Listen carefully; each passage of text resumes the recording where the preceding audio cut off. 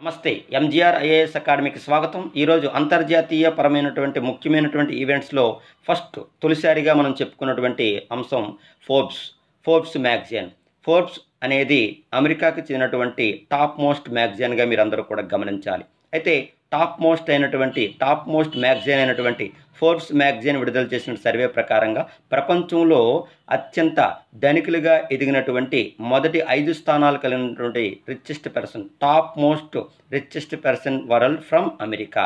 America నుంచే ఐదుగురు richest పర్సన్స్గా ఎదగడం జరిగింది. అందులో first one Jeff Bezos so founder of Amazon company అలాగే బిల్ గేట్స్ అలాగే third one Mark Zuckerberg ఇక ఫోర్త్ వన్ వారెన్ బఫెట్. ఇక fifth one Larry Ellison. So వీళ్ళ యొక్క వివరాలు ఒక్కొక్కరి వివరాల యొక్క ఏంటో మనము చూద్దాం. ఫస్ట్ ఆఫ్ ఆల్ మనకి మొదటి స్థానంలో వరుసగా మూడు సార్లు అత్యంత రిచెస్ట్ పర్సన్గా ఎదిగినటువంటి రిచెస్ట్ పర్సన్గా చెప్పుకుంటాం. ఆయన పేరే జెఫ్ బెజోస్. Jeff Bezos. రెండు వేల పంతొమ్మిది సంవత్సరం నుండి వరుసగా మూడుసార్లు ప్రపంచంలోనే అత్యంత రిచెస్ట్ పర్సన్గా ఎదిగినటువంటి ముఖ్యమైనటువంటి వ్యాపారవేత్తగా మీరందరూ కూడా గమనించాలి. సో ఇది జెఫ్ బెజస్ యొక్క ముఖ్యమైనటువంటి సమాచారంగా మీరందరూ కూడా గమనించాలి. ఇక సెకండ్ వన్ విషయంలో పోయినట్టుగైతే సో ఈయన గురించి ప్రపంచంలో తెలియనటువంటి వ్యక్తులు ఎవరు? ఉండరండి ఆయన పేరే so Bill Gates. So Bill Gates యొక్క సంపాదన పరంగా చూసుకున్నట్టుగైతే so one one eleven so one one eleven billion డాలర్స్తో ద్వితీయ స్థానం కలిగినటువంటి ప్రముఖ సాఫ్ట్వేర్ మైక్రోసాఫ్ట్ అధినేతగా చెప్పుకుంటాం. ఆయన పేరే బిల్ గేట్స్గా మీరు అందరూ కూడా గమనించాలి. అయితే సాఫ్ట్వేర్ రంగంలో ఎన్నైనటువంటి విధానంలో ఆరితేరినటువంటి ప్రముఖ వ్యక్తి బిల్ గేట్స్. అయితే బిల్ గేట్స్ యొక్క సంపద పరంగా చూసుకున్నట్లయితే ఆయన ఎటువంటి ఆదాయ ప- సరే ముందుగా ఆయన అంటే ఎంత సంపాదించామనేది ముఖ్యం కాకుండా సంపాదనలో అత్యంత ఎక్కువగా దానగుణం కలిగినటువంటి దయాగుణం కలిగినటువంటి ప్రముఖ దిగ్గజాల్లో మొదటి స్థానం ఎవరైనా ఉన్నారంటే ఈయనేనండి. సంపాదనలో పరంగా పక్కన పెట్టండి. కానీ సంపాదన అనే అంశం కాకుండా ఈయన ప్రపంచంలో ఎక్కువగా పేదరికం కోసం అలాగే ఎంప్లాయ్మెంట్ విధానం కోసం అలాగే ప్రపంచాన్ని పట్టి పీడిస్తున్నటువంటి వ్యాధుల యొక్క నివారణ కోసం ఈయన పాటుపడి బిల్ గేట్ ఆధ్వర్యంలో గేట్ ఫౌండేషన్ అనే ఒక ఆర్గనైజేషన్ స్థాపించి ప్రపంచవ్యాప్తంగా అన్ని ఖండాల్లో అన్ని దేశాలలో ఈయన యొక్క సో డొనేట్ చేసినటువంటి ఆర్థికపరమైన అంశాల్లో ఆఫ్రికా ఖండానికి ఎక్కువగా డొనేట్ చేయడం జరుగుతుంది. ఎందుకంటే ఈరోజు అభివృద్ధికి నోచుకోలేనటువంటి ఖండం అభివృద్ధికి దూరంగా ఉన్నటువంటి ఖండం అలాగే అన్ఎంప్లాయ్మెంట్తో పూర్తిగా మునిగిపోతున్నటువంటి ఖండం. ఆ ఖండంలో ముఖ్యమైన దేశాల తాలూకా వృద్ధి కోసం వీళ్ళ యొక్క గేట్ ఫౌండేషన్ అనేది అనేది ఎనలేనటువంటి సో సర్వీస్లో అత్యంత ప్రపంచవ్యాప్తంగా పేరుగాంచినటువంటి ఫౌండేషన్గా మీరందరూ కూడా గమనించాలి. సో ఇది బిల్ గేట్స్ తాలూకా అంశాల్లో ముఖ్యమైనటువంటి అంశంగా మీరందరూ కూడా గమనించాలి. ఇక మూడో స్థానంలోకి వెళ్ళినట్టుగైతే ఫేస్బుక్ ఫౌండర్ అయినటువంటి Mark Zuckerberg so Mark Zuckerberg అనేవారు ఫేస్బుక్ అధినేతగా చెప్పుకుంటాం.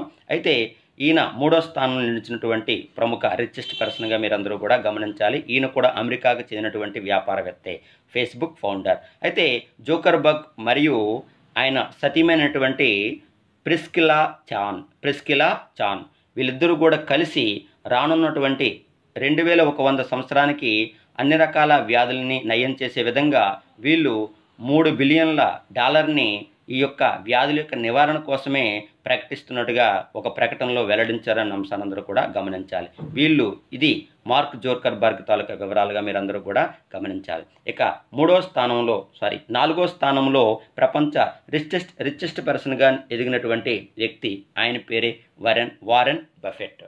So Warren Buffett Warren Buffett is one of the most successful investors of all time and is known as the Oracle of Omaha ఈయన America దేశానికి చెందినటువంటి ఒమహా అనే నగరంలో జన్మించడం జరిగింది. అయితే ఈయన తొలిసారిగా ఐ మీన్ పదకొండు సంవత్సరాల వయసులోనే తన యొక్క ఆదాయ సంపాదనలో అడుగుపెట్టినటువంటి వ్యక్తి ప్రపంచ చరిత్రలో కనివినటువంటి చరిత్రలో మొట్టమొదటిసారిగా పద్నాలుగు సంవత్సరాల వయసులోనే ఇన్కమ్ ట్యాక్స్ చెల్లించినటువంటి అతి చిన్న వయస్కుడిగా. చూశారా? పద్నాలుగు సంవత్సరాల వయసు అంటే అది అవగాహన లేనటువంటి వయసు అండి. అంటే పద్నాలుగు సంవత్సరాల వయసులోనే ఇన్కమ్ ట్యాక్స్ని కట్టగలిగే రేంజ్లోకి ఈయన ఎదగలిగారంటే చిన్నప్పటి నుంచి తన యొక్క తపన తన యొక్క ఆలోచన తన యొక్క యాక్టివిటీస్ అనేది ఎలా ఉంటుందో మీరు ఊహించుకునే ఉంటారు. సో ఇది వారెన్ బఫెట్ యొక్క ముఖ్యమైనటువంటి అంశంగా చెప్పొచ్చు. అయితే ఈయన సంపాదనలో తొంభై తొమ్మిది శాతం అనేది వెల్ఫేర్ యొక్క విధానానికి అలాగే గేట్స్ ఫౌండేషన్కి మొత్తం నలభై ఒకటి డా నలభై ఒకటి బిలియన్ డాలర్ని దానం చేస్తున్నట్టుగా మరియు అదర్ చారిటబుల్ సంస్థలు ఏవైనా ఉన్నట్లయితే వాటికి ఈయన సో దానం చేసే అంశాల్లో డొనేట్ చేసినటువంటి అంశాల్లో ఎనలేనటువంటి దయాగుణం కలిగినటువంటి ప్రపంచ టాప్ మోస్ట్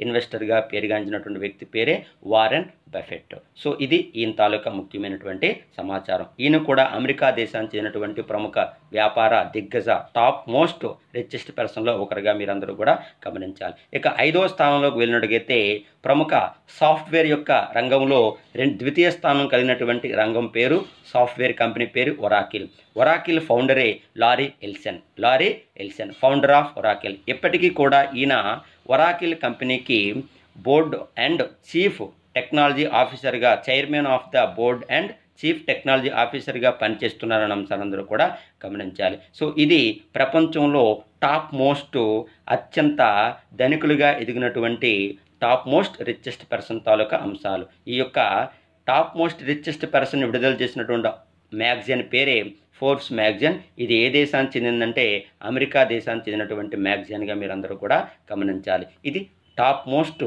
రిచెస్ట్ పర్సన్ యొక్క వివరాల్లో మ్యాగజైన్ అటువంటి ఫోర్స్ మ్యాగజైన్ విడుదల చేసినటువంటి సం- ఇక తర్వాత వచ్చే అంతర్జాతీయ న్యూస్లో భాగంగా చూసుకున్నట్లయితే ట్రంప్కి ఎప్పుడూ ఒక కళ అనేది ఉండేదండి. ఏమిటంటే ఆయనకి నోబెల్ పీస్ అవార్డు యొక్క రావాలనే కళ అయితే గత రెండు రోజులుగా మనం అబ్జర్వ్ చేస్తున్నట్టుగైతే నోబెల్ పీస్ అవార్డుకి నార్వేజియన్ లెజిస్లేషన్ వారు ట్రంప్ని డొనాల్డ్ ట్రంప్ని నామినేట్ చేస్తున్నట్టుగా ప్రకటన జారీ చేయడం జరిగింది. ఇక్కడ ఆ నోబుల్ అవార్డు యొక్క శాంతి రంగంలో ప్రకటన అనేది నామినేట్ చేశారు కానీ అవార్డు అనేది ఇవ్వటం లేదండి. అది మీరు గమనించాలి. అంటే నోబుల్ అవార్డు యొక్క నామినేషన్లో సో అమెరికా అధ్యక్షుల్లో ఈయన రావటం జరిగిందని అంశాలందరూ కూడా గమనించాలి.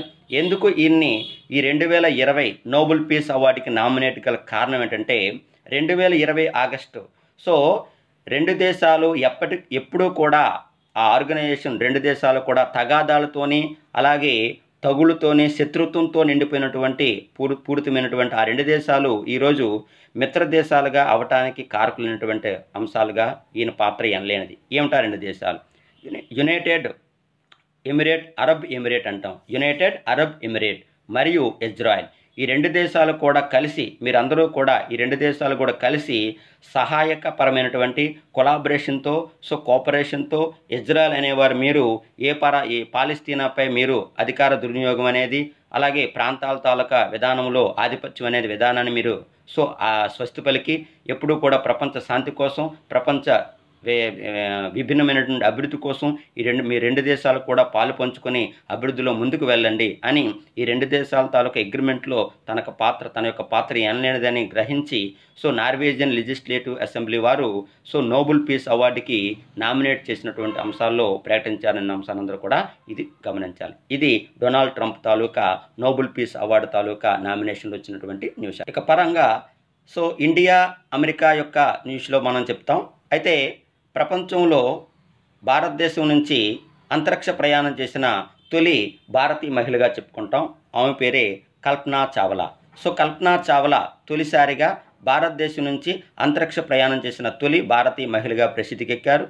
ఎందుకు ఈ యొక్క న్యూస్ ఇప్పుడు ఆర్టికల్లోకి న్యూస్లోకి రావడం జరిగిందంటే అమెరికా ఈమె ప్రయాణం చేసినటువంటి నౌక పేరు కొలంబియా నౌక. ఈమె కొలంబియా నౌక ద్వారా ప్రయాణం చేసినటువంటి అంటే రెండవసారి అంతరిక్ష ప్రయాణం వెళ్ళిన సందర్భంలో రెండు వేల మూడులో కొలంబియా నై- నౌక యొక్క ప్రమాదంలో భాగంగా సో అంతరిక్షం నుంచి తిరిగి వస్తుండగా మరణించినటువంటి భారతీయ వ్యోమనౌకరాలు పేరే కల్పనా చావ్లా. అయితే ఈ యొక్క కల్పనా చావ్లా యొక్క గుర్తుగా అమెరికాలో ఒక స్పేస్ సంబంధించినటువంటి యాక్టివిటీస్ని కల్పనా చావ్లా పేరు మీదుగా ఎస్టాబ్లిష్ చేయడం జరిగింది. కల్పనా చావ్లా పేరు మీదుగా పరిశోధన అంతరిక్ష పరిశోధన విభాగాల్లో ఈ పేరు ఈమె యొక్క పేరు అనే పేరుతో ఒక యాక్టివిటీస్ని ప్రారంభించారని అంశాన్ని అందరూ కూడా గమనించాలి. సో ఇది కల్పనా చావ్లా తాలూకా సమాచారం. ఇవండి ఈరోజు మనం చెప్పుకున్నటువంటి అంతర్జాతీయ ఈవెంట్స్లో ఇంటర్నేషనల్ రిలేషన్లో ఇంటర్నేషనల్ ఈవెంట్స్ పరంగా వచ్చినటువంటి న్యూస్ ఆర్టికల్స్ అండి.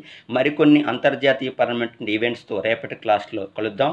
ఈ యొక్క ఎక్స్ప్లెనేషన్ మీకు నచ్చినట్లుగా అయితే షేర్ చేయండి లైక్ చేయండి. Don't forget subscribe. Thank you very much. Watching. జై